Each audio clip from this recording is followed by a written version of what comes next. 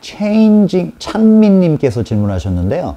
양증가 운동을 위해서 피라미드 기법을 활용할 때 몇 세트 실패 지점이나 직전까지 가는 게 좋을까요? 이렇게 말씀하셨는데 이거 며칠 전에 제가 그 유튜브 영상에 그 굉장히 그 좋은 반응을 일으켰던 그 질문의 답변이 이미 올라와 있는 것 같아요. 그러니까 어떤 거 어떤 거라면 그 벤치프레스 예를 그때 제가 들어드는데 뭐 여덟 개에서 여덟 그다음에 뭐 아, 이렇게 들고 그 다음에 여기서 마지막 하나를 다시 내려가고 이야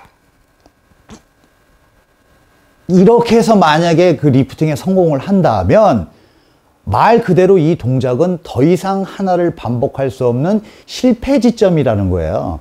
근데 이런 실패라고 하는 부분에서 너무 지금과 같이 이렇게 도저히 그 다시는 반복을 할 수 없는 이러한 반복으로 진행하게 되면 해당 목표 근육에 대한 손상이 일어나는 게 아니라 온몸이 지쳐버리는 그런 경향이 나타날 수 있거든요. 그러니까 말 그대로 그 세트의 어떤 실패라고 하는 거는 해당 근육의 지친 현상으로 인해서 반복을 못하는 정도로 마무리를 지셔야지 온몸이 힘들어서 더 이상 반복을 할 수 없는 이러한 반복을 진행하시게 되면 오히려 이러한 방법은 체력적인 고갈로 인해서 뒤에 진행될 수 있는 프로그램 수행에 악영향을 미칠 수 있다라고 좀 이해를 하셨으면 좋겠습니다.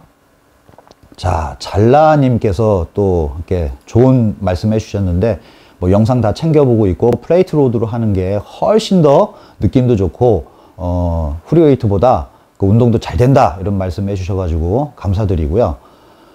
어, 지금 뭐, 너무 질문이 빨리빨리 올라가가지고, 뭐 이걸 어떻게, 자, 패트릭 님이 크레아틴은 운동 후에 드시나요? 전에 드시나요? 라고 이렇게 어, 말씀하셨는데 이 크레아틴이라는 물질은요 우리 몸에 미리 저장을 시켜놔야 됩니다. 그러니까 무슨 얘기냐면 사실 운동 전에도 섭취하고 운동 후에도 섭취하면 좋아요. 결론은 그래요. 근데 이제 운동 전에 섭취한다면 조금 운동하기 전에 보다 좀 한참 좀 시간이 좀 그 전에 왜냐면 우리 신체의 크레아틴 물질은 흡수되어서 저장되는 형태가 포스포크레아틴이라는 물질로 저장이 되어 있다가 ATP 물질이 ADP로 분해되면 ADP에 저장되어 있는 포스포크레아틴의 인지질을 재공급시켜서 ATP를 재합성하는 데 사용하는 거거든요. 즉 ADP의 P 인지질을 공급시켜서 다시 ATP를 합성한 후에 다시 ADP로 분해해서 금수축에 활용하려고 하는 거예요. 자, 이해를 하셨다면 이 크레아틴이라는 물질은 포스포크레아틴을 만드는데 굉장히 중요한 물질이기 때문에 우리 몸에 미리 저장시켜 놔야 되겠죠. 자, 그렇다면 운동하기 전에 섭취를 해 놓고 또 한 번의 그 기회의 장, 즉 운동이 끝난 후에 아주 그 영양적 부분에 대한 흡수력이 좋은 이러한 타이밍을 놓치는 건 사실 안 좋습니다. 운동 후에 다시 한번 크레아틴을 보충을 해서 내일 운동할 때 이러한 그 저장 크레아틴을 그 이용한다면 조금 더 높은 중량의 lifting에도 성공할 수 있고요. 더 지치지 않는 그런 반복을 어, 가능케 해서 여러분들이 원하는 그 근육의 양을 얻는데 많은 도움을 어, 얻을 수 있습니다. back double biceps posing을 잡는 도중에 등 상부의 프레임이 너무 좁은 것 같아 스트레스입니다. 등 상부의 운동과 어깨 후면 운동을 매일 해주고 있는데 발전이 더딘 것 같습니다. 당연히 더딜 수밖에 없죠.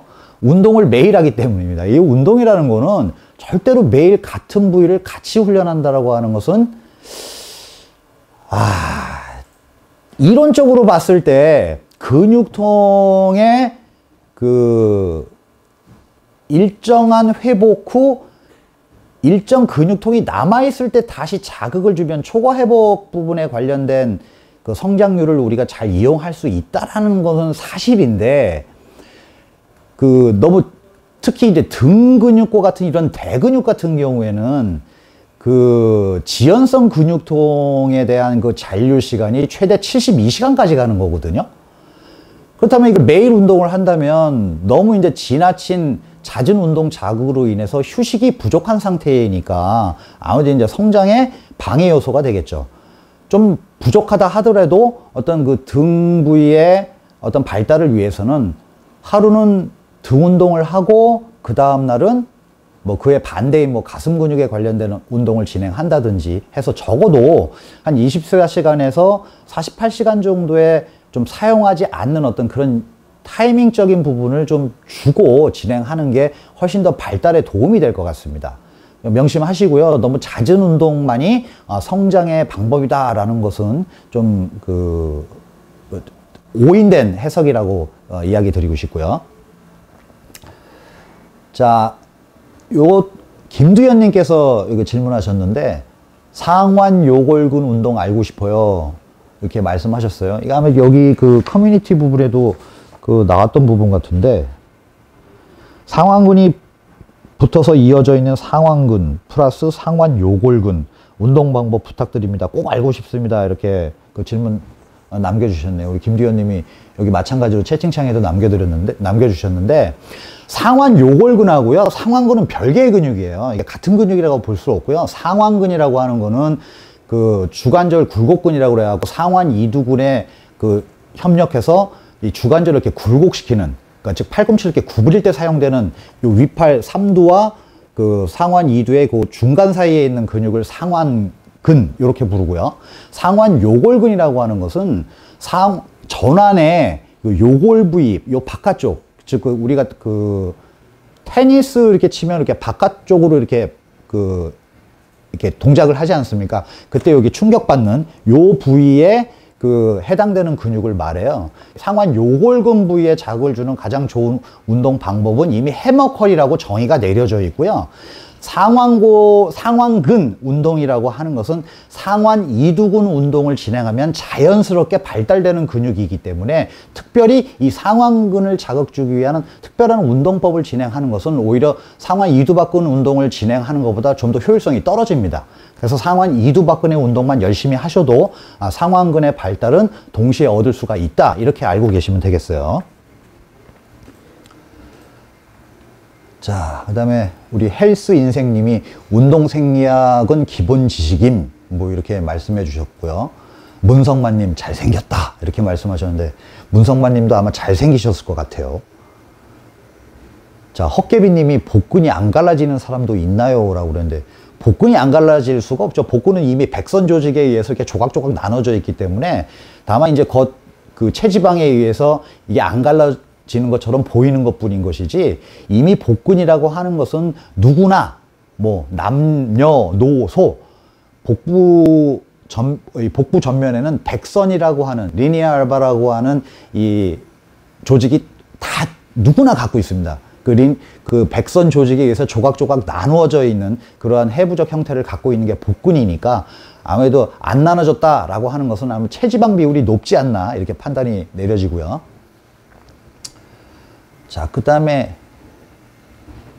이거는 도대체 마이는 읽을 수 있는데 뒤에는 이게 뭐 소비에트 말 같아가지고 김준호 선수님 두툼한 삼두근을 삼두를 만들기 위해서 bench dips나 close grip bench press 같은 운동이 필요하나요? 라고 말씀하셨는데, 예, 고전적 그 의미의 어, 상완 삼두근의 양증가 운동으로 우리가 추천하는 그러한 웨이더 시스템에서의 추천하는 운동법이 바로 그 close grip barbell bench press나 Smith machine을 이용한 close grip press 또는 그 bench dip과 같은 어떤 동작에서 상지를 이렇게 똑바로 세워놓고 위아래로 움직이는 이러한 그 동작을 말하는데 사실 이제 이런 운동 방법은요 상완 그 상완 삼두근에 대한 양을 얻는 것도 양을 얻지만 실질적으로 strength 타입의 훈련이라고 전 그 판단이 내려집니다. 즉 상완 삼두근에 힘을 키워서 좀 더 상완 삼두근의 분리를 얻을 수 있는 다른 extension 동작을 좀 무겁게 할 수 있는 그런 능력을 얻는 데 도움이 되는 그런 운동법이라고 말하고 싶어요. 근데 이제 요즘 상완 삼두근의 이제 운동 방법의 그 스타일을 좀 보면 이 무거운 중량의 close grip press나 이런 bench dip 같은 어떤 이런 동작을 하게 되면 주관절에 너무 많은 스트레스가 전달돼서 팔꿈치 부상 또는 팔꿈치 통증으로 연결이 되어 오히려 상완 삼두근의 훈련도 진행하기가 어렵게 되고 다른 어깨 훈련이라든지 이런 프레스 계열의 bench press 동작도 어, 상당히 좀 어렵게 만드는 그런 경우를 많이 봤어요. 그래서 조금 더 이제 상완 삼두근은 소근육이기 때문에 두툼한 상완 삼두근의 어떤 양을 얻고자 한다면 항상 제가 말하는 거지만 좀 세트법을 활용하는 게 좋을 것 같습니다. 뭐 cable press down을 진행하고 그다음에 lying triceps extension을 진행한 다음에 bench dips와 같은 동작을 이렇게 묶어서 tri-set로 진행하는 뭐 12, 12, 12 가능한 어떤 이런 중량을 선택해서 지, 진행한다면 조금 더 이제 강도 있는 자극을 상완 3두에 전달시킬 수 있어서 상완 3두근의 발달을 얻을 수 있는 이러한 방법론으로 접근하시는 게 조금 더 그 효율성이 높을 것 같습니다.